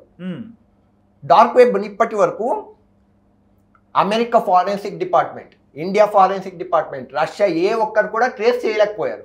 డార్క్ వెబ్లో ఒక రెడ్ రూమ్ అని మనిషిని చంపేది ఉంటుంది. Red room. Red room. మనిషిని విన్నాం. అంటే హాలోజినేషన్ కాకుండా మనిషిని క్రూరంగా చంపుతారు అక్కడ లైవ్లో ఇప్పుడు నేనే ఒక సైకోని. నిన్ను ఎలాగోలాగా చంపాలా నేను. ఎలా చంపాలి? నేను చంపితే జైలుకి వెళ్తా. సో నేను డార్క్ వెబ్ వాళ్ళకి అంతనో ఇంతో మనీ ఇచ్చి నేను ఒక మనిషిని చంపాలనుకుంటా. నిన్ను ఊహించుకొని. సో నిన్ను ఎలా చంపాలి? చిన్న కట్ చేయాలనుకుంటా. ఓకే. వాళ్ళకి మనీ ఇచ్చా అనుకో రెడ్ రూమ్ వాళ్ళు వీడియో ఆన్ చేసి లైవ్ ప్లే చేస్తారు. నువ్వు మనీ నువ్వు మనీ ఎవరు మనీ ఎక్కువ ఇస్తే వాళ్ళ వాళ్ళు ఎలా చెప్తే అలా కట్ చేస్తారు వాళ్ళ ఓ బిడ్డింగ్. అది లైవ్లోనే నేను ఇంటర్లోనే చూసా. ఇంటర్లో? ఇంటర్లో అది నైట్ లెవెన్ టైంలో భయం అనిపించలేదా భయం అంటే ఒక హ్యాకర్ ఎలా ఉంటాడంటే తొందరగా ఏ దానికి భయపడ్డు. ఏ దానికి భయపడ్డు ఒక హ్యాకర్. వాళ్ళ మైండ్ సెట్ ఎలా ఉంటుందంటే చిన్న ప్రాబ్లమేగా అనిపిస్తుంది దాన్ని. ఓకే దాన్ని ఒక ఇష్యూ లానే చూస్తారు. చూస్తారు. దాన్ని ప్రాబ్లమ్ చూడ చిన్న ఇష్యూలా చూస్తారు. అంటే వాళ్ళు ఏ దానికి భయపడ్డు వాళ్ళు. ఎందుకంటే వాళ్ళ మైండ్ సెట్టే డిఫరెంట్ వాళ్ళది హ్యాకర్ అనే వాళ్ళది. అండ్ నాకు ఇంకో క్వశ్చన్ ఉంది. అంటే బేసిక్గా ఈ రోజులో మనం చూసుకోవచ్చు కొన్ని వెబ్సైట్స్ అన్ని బ్లాక్ అయింటాయి విపిఎన్ డౌన్లోడ్ చేస్తారు అది ఆన్ చేయాలి కొంతమంది పర్చేజ్ కూడా చేస్తారు. ఇన్ కేస్ ఇండియాలో అయితే ఇలా. బయటికి వెళ్ళిన వాళ్ళైతే విపిఎన్ డౌన్లోడ్ చేసుకొని ఆ కంట్రీలో ఎగ్జిస్టింగ్ యాప్స్ వర్క్ అవ్వకుండా కొనుక్కొని మరీ వాడతారు. ఈ విపిఎన్ ప్రాసెస్ ఏంటి అసలు? విపిఎన్ అంటే ఇప్పుడు నీ జీపీఎస్ ఇక్కడ ఉంది అవును. బట్ ఇక్కడ సంథింగ్ నీకు అలో లేదు. అవును. నీ జీపీఎస్ చేంజ్ చేయాలి. నీ జీపీఎస్ని విపిఎన్ ద్వారా చేంజ్ చేస్తాం ఓకే. మేము హ్యాకర్స్ ఏం చేస్తాం? మా వేలో మేము వెళ్తాం. బట్. మీకు అంత నాలెడ్జ్ ఉండదు. సో ఆ విపిఎన్ అనేది ఇన్స్టాల్ చేసి మీరు ఏ కంట్రీకి వెళ్ళాలనుకుంటున్నారో అక్కడ సెట్ చేస్తారు. అవును. అక్కడ సెట్ చేసిన తర్వాత మీ యాక్సిస్ అంతా ఆ కంట్రీ నుండి జరుగుతుంది. మొత్తం? మొత్తం. అంటే అప్పుడు మన ఫోన్ వాళ్ళకి ఇచ్చినట్టే? ఇచ్చేస్తున్నారు. ఇప్పుడు యాక్చువల్గా మీరు మూవీస్లో చూస్తుంటారు. ఒక క్రిమినల్ని పోలీసులు ట్రేస్ చేయడానికి వెళ్తారు. అవును. సో లొకేషన్ రీఫ్రెష్ చేసిన వెంటనే లొకేషన్ చేంజ్ అవుతూ. ఉంటుంది. సో అది అది కూడా ఒక రకమైన విపిఎన్ అన్నమాట. ఓకే. రిఫ్రెష్ చేస్తే రీఫ్రెష్. చేస్తూ ఉంటారు ఓకే. అంటే ఇక్కడైతే ఇలా ఉంది. మరి కొన్ని కంట్రీస్కి వెళ్ళినప్పుడు కూడా మన వాళ్ళు అక్కడ కొన్ని ఇప్పుడు ఎగ్జాంపుల్ చైనా అనుకోండి. ఆడ వాట్సాప్ రాదు గూగుల్ రాదు యూట్యూబ్ రాదు. విపిఎన్ కొనుక్కొని ఆన్ చేసుకుంటే అని సరే మనం వాళ్ళేమో. మరి అలాంటి కంట్రీస్లో కూడా ఎట్లా పర్మిషన్ వస్తుంది? కొన్ని కంట్రీస్లో మాత్రం ఇప్పుడు నార్త్ కొరియా అలాంటి చోట మాత్రమే మనకి బ్యాన్ చేశారు గూగుల్ యూట్యూబ్ అలా. అవును. మనం అక్కడ యాక్సెస్ చేయాలన్నా కూడా మనకు ఇంటర్నెట్ దొరకదు. అక్కడ అంతా వాళ్ళు ఏమున్నా ప్రభుత్వ పరంగా ఇంటర్నెట్ కావాల్సిందే. ఓకే. సో అక్కడ మనం ఏం చేయలేం. బట్ మేము హ్యాకర్స్ ఏం చేస్తామంటే మేము గవర్నమెంట్ యొక్క సర్వర్ని నెట్వర్క్ని హ్యాక్ చేసి ఇంటర్నెట్ కనెక్ట్ చేసుకొని యూజ్ చేస్తాం. ఇప్పుడు మా లొకేషన్ ఇప్పుడు నాదే ఉంది నా ల్యాప్టాప్ లొకేషన్ ఇప్పటికి కూడా స్విచ్ ఆఫ్లో ఉంది. ఎవరైనా ట్రేస్ చేయమని. ట్రేస్ చేయలేరు వాళ్ళు. ఓకే ల్యాప్టాప్స్ కూడా అవుతాయా ల్యాప్టాప్స్ ఏ ప్రోగ్రామింగ్ ఉన్న ఏ ఎలక్ట్రిక్ డివైస్ యొక్క జీపీఎస్ అయినా మార్చవచ్చు. Like TVs? టీవీస్ అంటే అది జస్ట్ ఒక ప్రోగ్రామ్. దానికి ఇంటర్నెట్ కనెక్ట్ అయితే ఓకే. కనెక్ట్ అవ్వని టీవీస్ కూడా కొన్ని ఉంటాయి. కనెక్ట్ అయ్యే టీవీస్ని చేంజ్ చేయొచ్చు. కనెక్ట్ అవ్వని టీవీస్ ఇంటర్నెట్ యాక్సెస్ ఎక్కడున్నా ప్రతిదీ చేయొచ్చు. ఇప్పుడు మన ఇండియాలో ఒక వన్ మంత్ బ్యాక్ పెద్ద రచ్చ జరిగింది ట్విట్టర్లో ఆ, సెవెన్ డేస్ టాప్లో ఉంది అది ఏంటి ఈవీఎం హ్యాకింగ్ ఆ, ఆ. సో ఈవీఎం హ్యాక్ చేయొచ్చు అంటే డెఫినెట్లీ హ్యాక్ చేయొచ్చు. ఓ, అది గవర్నమెంట్ అంత సెక్యూర్డ్ ప్రోటోకాల్స్ ఉంటాయి కదా. ఇప్పుడు గవర్నమెంట్తో అంత సెక్యూర్ ప్రోటోకాల్స్ ఉన్నాయంటారే హండ్రెడ్ క్రోస్ మెంబర్స్ది ఆధార్ డేటా అనేది డార్క్ వెబ్లో ఉంది కదా. మళ్ళీ ఎక్కడ ఉంది సెక్యూరిటీ గవర్నమెంట్ దగ్గర? మన వాళ్ళవి మన వాళ్ళవే. మనీ ఉంటే నువ్వే కొనవచ్చు ఆ, ఆ, ఆ. ఎక్కడ ఉంది గవర్నమెంట్ దగ్గర సెక్యూరిటీ మోస్ట్ పవర్ఫుల్ సర్వర్ ఏదైనా అంటే ఆధార్ అంటారు మన ఇండియాలో. అలాంటి సర్వర్ని హ్యాక్ చేసి హండ్రెడ్ క్రోస్ మెంబర్స్ది ఆధార్ డేటా పెట్టారే డార్క్ వెబ్లో ఓకే. మరి అలాంటివన్నీ కంట్రోల్ చేయాలంటే ఎలా? ఎలా ఎలా అంటే మన గవర్నమెంట్ వాళ్ళు మన ప్రభుత్వం వాళ్ళు దృష్టి అనేది సాధించలేము ఉమ్, ఎంతసేపు ఉన్న పూర్ పీపుల్ని పైకి తీసుకురావాలనే చూస్తారు. ఇక్కడ టెక్నాలజీ పరంగా అంత కాన్సన్ట్రేట్ చేయడం లేదు. సో అక్కడ మిస్టేక్.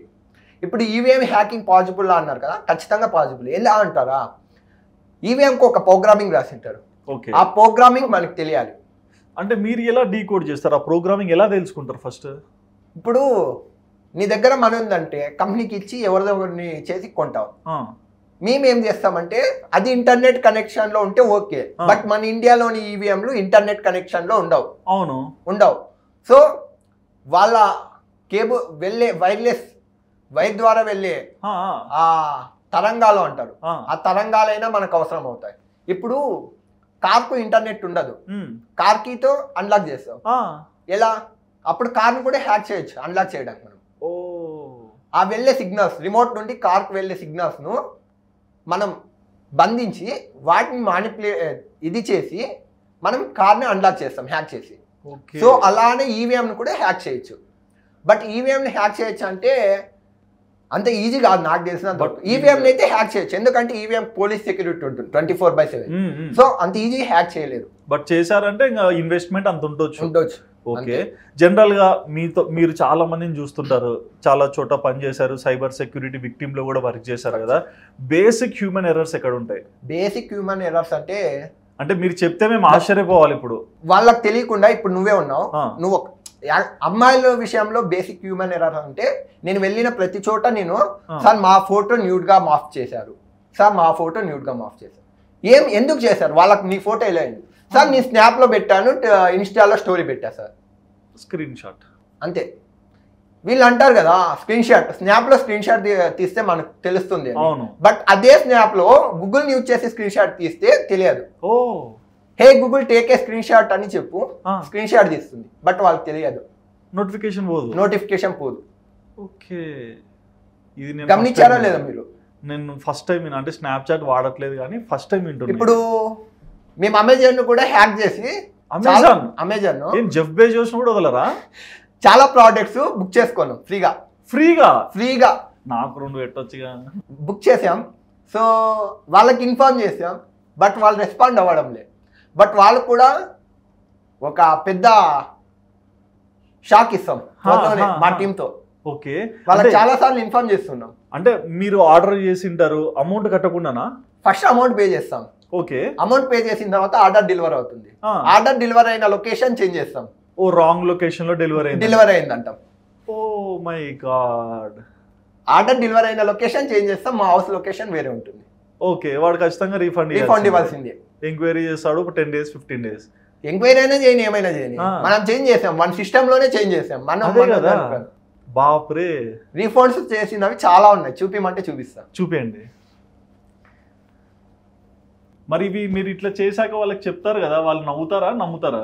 వాళ్ళు నవ్వుతారు. అమెజాన్. అమెజాన్ వాళ్ళు నవ్వుతారు. ఎందుకంటే ట్వంటీ ఇయర్స్ అబ్బాయి వచ్చి మా కంపెనీని ఏంది? ఎగ్జాక్ట్లీ చేసేది అంటారు. బట్ వాళ్ళకి తెలియదు కదా. వాళ్ళ మిస్టేక్స్ అది. ప్రతి ఒక్క దగ్గర ఇవి మన రీఫండ్స్ ఇవన్నీ రీఫండ్సా స్క్రోల్ చేయండి పైకు. అంటే నేను నెంబర్స్ చేంజ్ చేస్తుంటా. దొరకకూడదు ఓ మై బుల్షిట్ కావాలని ఇన్ని. కావాలి ఇప్పుడు వాళ్ళకు మెయిల్ చేసా కాల్ చేసా తిట్టా బతిమలాడుకున్నా వినలే వాళ్ళు. బాపురే ఇండియన్ అమ్మేది బ్రో. అందరు జనాలు మీరు ఇరవై కదా అని ఇట్లా అంటారు. బట్ ఇండియన్ అమ్మేయకండి అంటే ఇట్లా ఒక అమెజాన్ అంటే అసలు ఎక్స్పెక్ట్ చేయరు ఎవరు. అమెజాన్ ఇట్లా కూడా చేయొచ్చా అని? చేయొచ్చు. ఇప్పుడు అమెజాన్ ఏం చేస్తుందంటే కొన్ని కోట్ల పైన దృష్టి పెడుతుంది. Three hundred four hundred product ఏమవుతుందో ఆలోచించాలి. యా.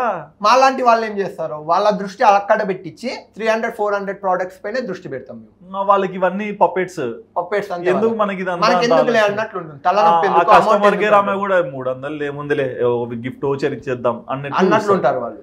ఓకే బట్ దీనికి చెక్ మేట్ ఎప్పుడు పెడతారు? అది వాళ్ళ ఇష్టం. ఇప్ప ఇప్పటికీ వాళ్ళు మారలేదంటే పెద్ద షాక్ ఇస్తాం వాళ్ళు. పెద్ద షాక్ ఏంటి ఎన్ని ఐఫోన్లు ఆర్డర్ పెడతారు? ఐఫోన్లు గీ ఫోన్లు అంటూ ఏముండవు. ఒక గంట సేపు ఆపేయడానికి ప్రయత్నాలు జరుగుతున్నాయి. అమెజాన్ని గంట సేపు ఆపేస్తావా? గంట కాకపోయినా హాఫ్ అన్ అవర్ అయినా ఆపేయచ్చు. ఎందుకంటే చెప్పు ఎంత పెద్ద అపోజిషన్ ఉన్నా ఎంతసేపు ఆపగలుగుతావు? ఇప్పుడు మా టీమ్ స్ట్రెంత్ పైన డిపెండ్ అయి ఉంటుంది ఓకే మీ టీమ్ స్ట్రెంత్తో చెప్పు ఎంతసేపు ఆపగలుగుతావు? మా టీమ్ స్ట్రెంత్తో నేను థింక్ చేసిన దాని ప్రకారం ఫిఫ్టీన్ టు ట్వంటీ మినిట్స్ వాళ్ళకి దొరకకుండా fifteen minutes hundred percent hundred percent ఆపగలం. అమెజాన్ని అమెజాన్ని ఓకే మరి ఇట్లా అన్నప్పుడు నాకు కొన్ని సింక్ అవుతున్నాయి అంటే ఇంతకు ముందు మనం చూస్తాం వాట్సాప్ డౌన్ అయింది అందరి ఓపెన్ కావట్లేదు మెసేజ్ పోవట్లేదు. ఇప్పుడు ఒక కంపెనీని హ్యాక్ చేసి సర్వర్ డౌన్ చేసినప్పుడు వాళ్ళు బయటకు అనౌన్స్ అనౌన్స్ చేసుకోరు. ఎందుకు అనౌన్స్ చేసుకోరు అంటే. వాళ్ళ వాల్యూ పడిపోతుంది యూజర్స్ పడిపోతారు. సో ఎవ ఎవరు కూడా బయటకు అనౌన్స్ చేసుకోరు. అవును. అఫీషియల్గా. ఏమున్నా అన్అఫీషియల్ గానే చేసుకుంటారు. ఓకే. బట్ అంటే ఇట్లా జరుగు జరగడానికి వెనకాల రీజన్ హ్యాకింగే హ్యాకింగే అంటే ఇప్పుడు కంపెనీని హ్యాక్ చేశాడంటే మేబీ వాళ్ళ అంటే వాళ్ళ పేరు అంటే మీరు రీజన్ హ్యాకింగ్ అంటే ఇప్పుడు మైక్రోసాఫ్ట్ ఇష్యూ జరిగింది. అది హ్యాకింగ్ కాదు. వాళ్ళు ఇచ్చిన అప్డేట్ వల్ల జరిగింది అది. ఓకే అప్డేట్లో బగ్స్ అప్డేట్లో వల్ల వాళ్ళ ప్రాబ్లం జరిగింది. సో ఆ బగ్ వల్ల అది ఏర్పడింది ఓకే వాళ్ళు ఆ బగ్ను వదిలేసి అలానే కంటిన్యూ చేసింటే ఎవరో ఒకరు టుడే కాకపోతే టుమారో హ్యాక్ చేసేవాళ్ళు. ఓకే సో వాళ్ళ ఎర్రర్ వాళ్ళు రికగ్నైజ్ చేసుకొని క్లోజ్ చేశారు. ఓకే బట్ ఈ వాట్సాప్ ఇట్లాంటివి హ్యాక్ అన్నారు కదా. సో కంపెనీని హ్యాక్ చేసినట్లా లేకుంటే ఒక కస్టమర్ డేటా కోసం కంపెనీని హ్యాక్ చేసినట్లా? ఇప్పుడు మన ఆధార్ సర్వర్ ఉంది. ఆ, ఆధార్ సర్వర్ని మన యూ మన యూజర్స్ యొక్క డేటాను తీసుకోవడానికి వాళ్ళు హ్యాక్ చేసి తీసుకుంటారు. మన ఆధార్ డేటా తీసుకుంటే మన ఫింగర్ ప్రింట్స్ దొరుకుతాయి మన అడ్రస్ దొరుకుతుంది మన ఐడెంటిటీ అన్ని వెరిఫైడ్ కదా. సో ఇప్పుడు నేను నా మీ ఆధార్ తీసుకుంటా. మీ ఆధార్ డేటా కొన్నాను అనుకో మీ. అకౌంట్లో ఒక టూ క్రోర్స్ ఉన్నాయి. మీ ఆధార్ డేటా యొక్క ఫింగర్ ప్రింట్ యూజ్ చేసి నేను నీ అమౌంట్ అయిపోయా. నువ్వు అంటే మాకంటే ఈ పేపర్లో వచ్చిన నాలెడ్జ్ ద్వారా కొన్ని తెలుసుకుంటాం. బట్ నువ్వు ఇంత ఇంట్రెస్ట్తో నేర్చుకున్నావు కదా నువ్వు చూసిన బిగ్గెస్ట్ స్కామ్ ఏంటి? నేను చూసిన బిగ్గెస్ట్ స్కామ్ అంటే అది హ్యాకింగ్ వల్ల కాదు కానీ ఏదైనా. మన బిఎస్ఎన్ఎల్లో చైర్మన్ తన ఇంట్లోనే మన బిఎస్ఎన్ఎల్ నెట్వర్క్ పెట్టుకొని సన్ టీవీ రన్ చేశారే అది బిగ్గెస్ట్ స్కామ్ టెలికామ్లో. ఓకే. ఎట్లా ఎట్లా ఎట్లా అనిపించింది అది? అంటే ఆశ్చర్యం వేసింది నాకు. ఎలా ఒక బిఎస్ఎన్ఎల్ ఒక సన్ నెట్వర్క్ ఎట్లా సింక్ అయినా అదే అదే. ఒక సన్ నెట్వర్క్ని ఎవరికి తెలియకుండా అన్ని రోజులు ఎలా నడపగలిగాడు. ఇంకా? అదే నా నాకు దాన్ని క్రాక్ చేయాలని చూసావా? దాన్నా? అంటే అట్లీస్ట్ ఎట్లా జరిగింది అని ఫైండ్ అవుట్ చేయడం అంటే అది. వాళ్ళు అది మాన్యువల్గా జరిగింది కదా. అంటే అది నువ్వు చైర్మన్ కాబట్టి చేసేసుకున్నావు అవును. అలా.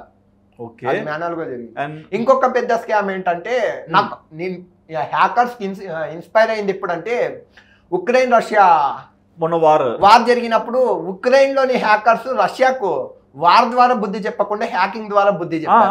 అది హైలైట్. ఓకే. ఎందుకంటే రష్యా యొక్క ఆర్మీ వెబ్సైట్ని హ్యాక్ చేసి వాళ్ళ ప్రతి ఒక్క మూమెంట్ తెలుసుకున్నారు ఉక్రెయిన్ వాళ్ళు. అవును.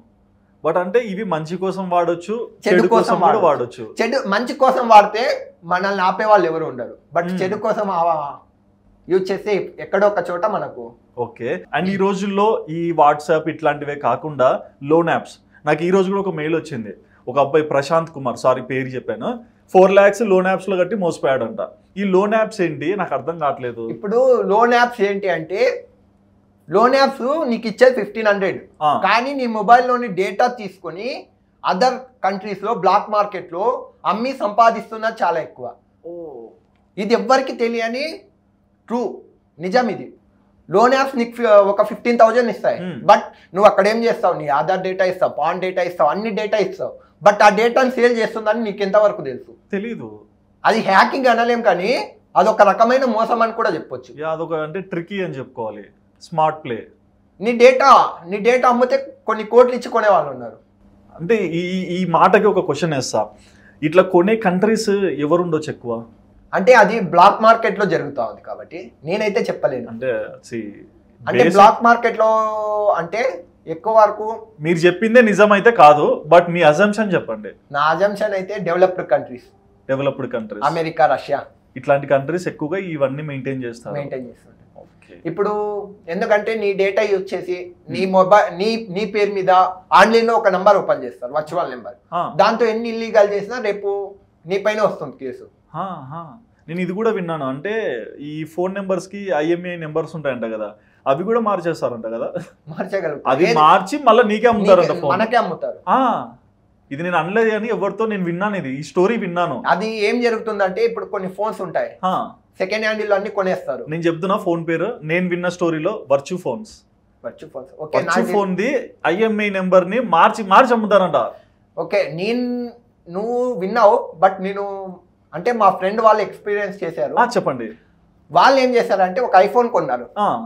ఐఫోన్ కొన్నారు. ఎక్కడ? ఆఫ్రికాలో కొన్నారు. ఓకే. సో అదేం జరిగిందంటే వాళ్ళు సెకండ్ హ్యాండిల్ ఫోనే దాన్ని. మొత్తం అంతా రిపేర్ చేసేసి దాని ఐఎంఐ నెంబర్ చేంజ్ చేసి ఇచ్చారు. బట్ మనం హ్యాకర్స్ ఈజీగా ఐడెంటిఫై చేయగలం. దాంట్లో. ఏముంది ఏం లేదని. సో అలా ఐడెంటిఫై వాడు ఇండియాకి వచ్చిన తర్వాత ఇది కొత్త ఫోన్ అంటే అప్పుడు చెక్ చేసా ఎందుకో సాఫ్ట్వేర్ డౌన్ అనిపించింది. చెక్ చేస్తే ఆల్రెడీ యూజ్డ్ ఫోన్. ఓకే. ఆ ఐఎంఐ నెంబర్ వెళ్ళి మనం ఆన్లైన్ సెర్చ్ చేస్తే ఆ నెంబరే లేదు. అది ఓపెన్ సీక్రెట్ ఇంకా. ఆపిల్ నుంచే వచ్చేసింది కదా డైరెక్ట్ మెసేజ్ ఇంకా. లైక్ నేను చాలాసార్లు గమనిస్తుంటాను. అంటే నా పర్సనల్ ఒపీనియన్. ఒకడు మంచి ఇంటెలిజెంట్ ఉంటాడు. వాడు చుట్టూ పది మంది ఉండొచ్చు. కానీ పది మందికి ఇతనికి ఉన్నంత నాలెడ్జ్ ఉండదు. కానీ వీళ్ళని చూస్తున్నప్పుడు వీడికి లోపల కొన్ని ఒపీనియన్స్ ఫామ్ అవుతుంటాయి. ఇట్లా ఉన్నారు అట్లా ఉన్నారు అట్లా మాట్లాడుతున్నారు ఇది తప్పుగా ఉంది. సో ఇట్లా మీ చుట్టూ ఉన్న వాళ్ళని కాలేజ్లో చూస్తుంటారు. ఇంకా బెస్ట్ థింగ్ ఏంటంటే మీరు ట్వంటీలో ఉండి ఇది ఇంత జీనియస్గా ఆలోచిస్తున్నారు.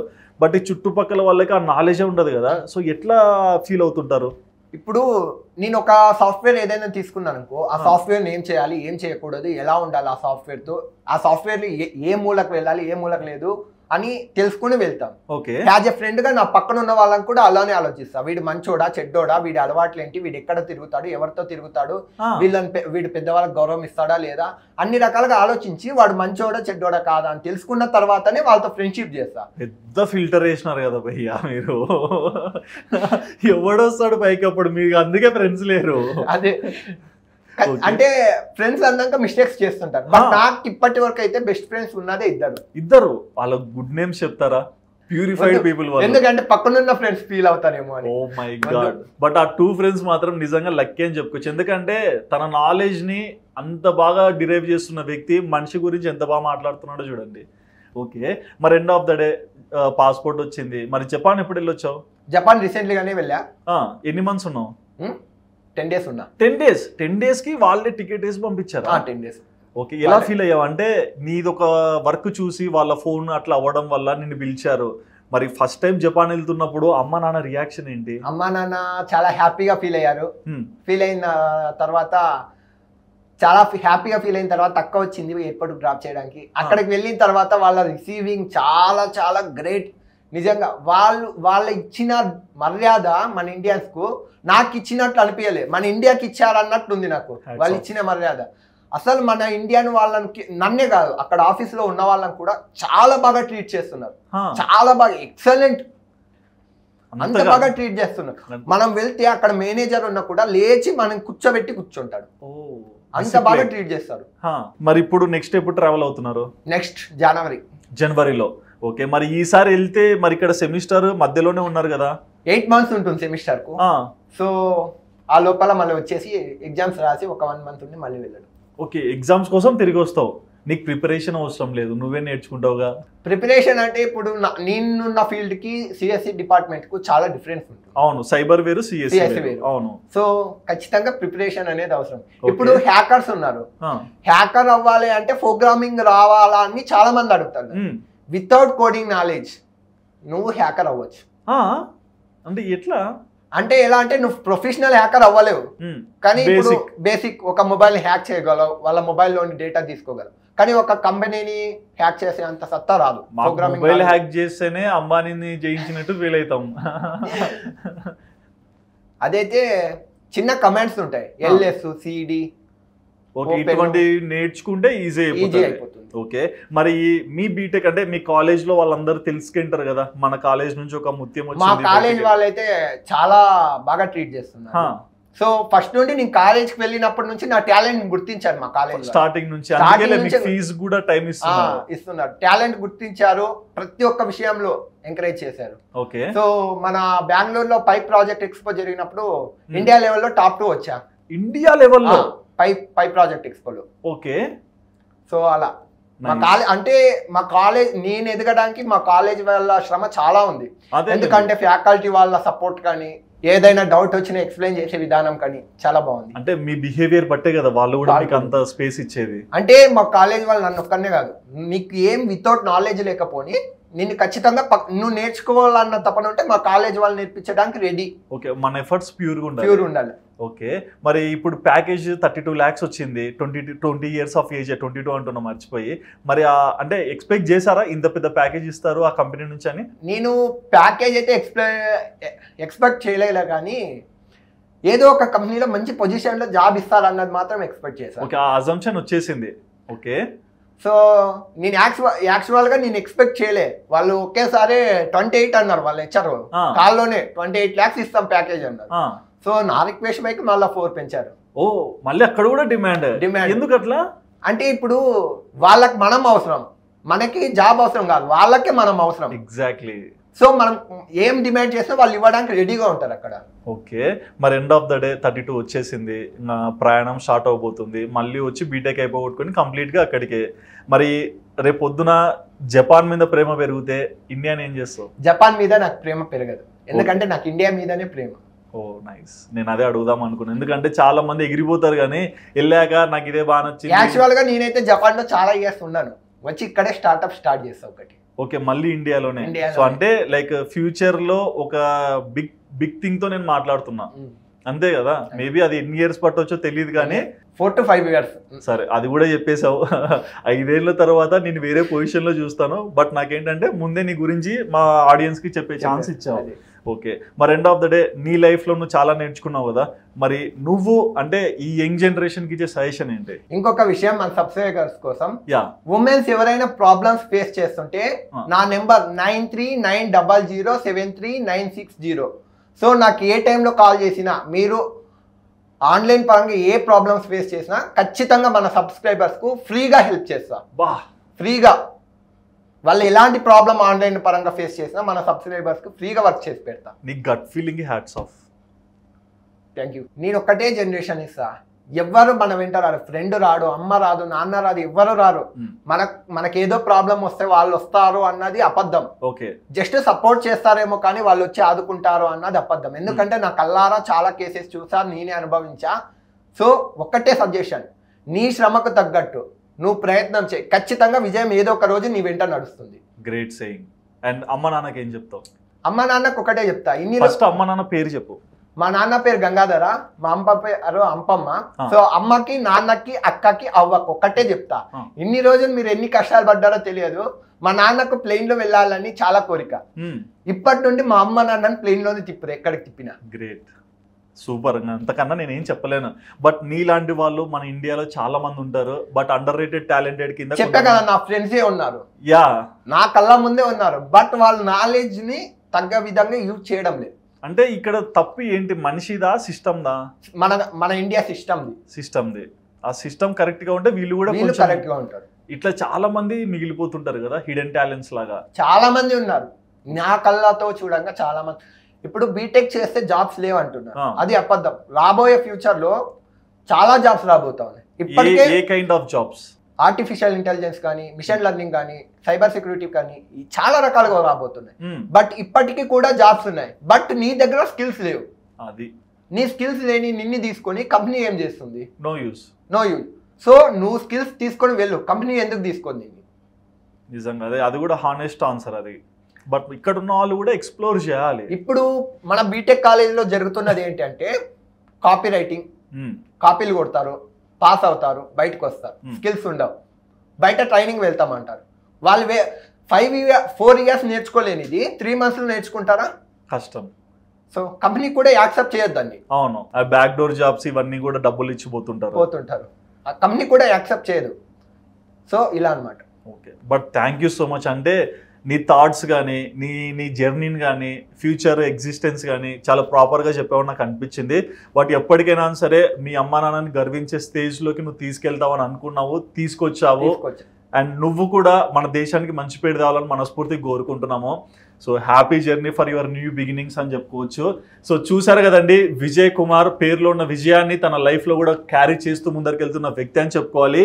Age is just a number అని అందరిని అనలేము. కొంతమందిని చూసి మనం అనగలుగుతాము. అలాంటి అరుదైన రకమే ఈ అబ్బాయి. మరి ఈ అబ్బాయి టాలెంట్ కానీ ఈ అబ్బాయి చెప్పిన మాటలు విన్నాక మీకు ఏమనిపించిందో మీ ఒపీనియన్ తప్పకుండా కమెంట్ సెక్షన్లో మెన్షన్ చేయండి. అండ్ నా తరపున ఒక చిన్న రిక్వెస్ట్ సో ఎలాగో మన దేశాన్ని వదిలి ఎక్కడికో వెళ్ళి జాబ్ చేస్తున్నాడు కాబట్టి ఖచ్చితంగా కంగ్రాట్స్ బ్రో అని అయితే కమెంట్ చేయండి. అదైతే నేను ఫస్ట్ టైం అడుగుతాను నేను ఎప్పుడు అడగలేదు ఎవరిని కూడా. So please do subscribe our channel Aadan for more updates